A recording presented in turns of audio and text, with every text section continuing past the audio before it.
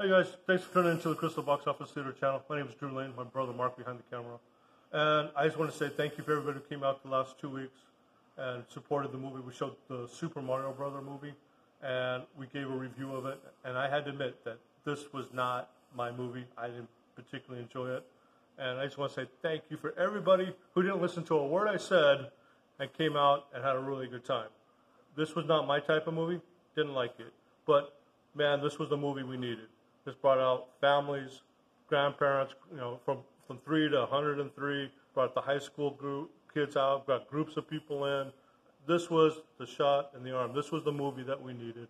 And I want to say thank you for each and every person that came out.